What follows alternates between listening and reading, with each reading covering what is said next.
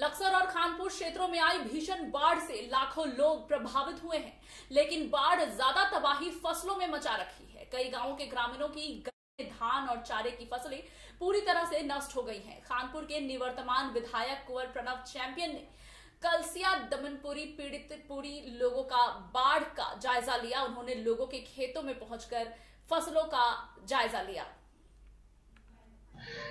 अकौढा में जब मैं मुड़ा हूँ, मुझे मेरे साथियों ने बुलाया, मेरा युवा मोर्चे का मंडल अध्यक्ष अक्षय, हमारा बीडीसी है जनक, इन लोगों ने मुझे फ़ोन किया। तो मुझे लगा कि ये तो उससे भी ज़्यादा भयावह स्थिति है। और उतर के जब मैंने देखा, गन्ना इस तरह से हो गया है जैसे इसमें नेक्रोसिस हो गया हो। लीफ नेक्रोसिस यानी फोटोसिंथेसिस बिल्कुल खत्म हो गया।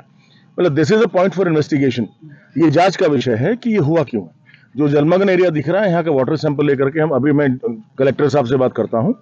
कृषि मंत्री गणेश जोशी जो हमारे मित्र हैं, उनसे भी मैं कहता हूँ कि भाई ऐसा अनर्थ क्यों मान के जरा देखें और किसानों को उनको विशेष तौर पर मुआवजा लक्सर तहसील के 33 गाँव पिछले पाँच दिनों से बाढ़ की चपेट में है। नगर के मेन बाज़ार के अलावा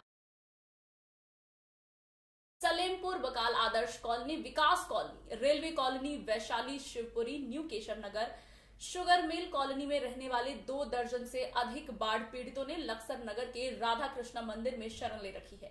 पीड़ित बताते हैं कि उनकी कॉलोनी में अभी भी तीन से चार फीट पानी भरा हुआ है। बाढ़ आने के समय उनके खाने पीने के साथ पहनने ओढ़ने के कपड़े तक खराब हो गए, जिससे काफ़ी नुकसान हुआ है।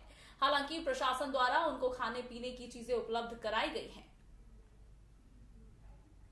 हालात है वहाँ पे जब से हम सुबह पाँच बजे पानी आ गया था वहाँ से सुबह सात बजे बहुत मुश्किल से निकले और वहाँ बहुत ज़्यादा पानी भरा हुआ है। मगरमच्छ भी आए हुए हैं वहाँ दो तीन और हम कुछ नहीं पहन के आए। एक जोड़ी कपड़े हैं जो पहन के आए, सब ऐसे ही आ गए वहाँ से, कुछ नहीं लेके आए, सब कुछ यूँ ही है, सब बर्बाद हो गया, सब में पानी भरा हुआ है, बहुत ज़्यादा पानी भरा है, वहाँ पे हम जा भी नहीं सकते, बहुत डर है वहाँ, बहुत खतरा है वहाँ, बहुत ज़्यादा पानी है वहाँ पे, बहुत ही हम सब बहन भाई सब हमारे गली के हैं, दस परिवार हैं, हम दस के दस सब यहाँ पे आए हुए हैं, बहुत बुरा हालात है वहाँ पे, हम वहाँ रह कुछ नहीं रहा है। जैसे एक बंजर ज़मीन होती है ना, वो वहाँ का हाल हो चुका है।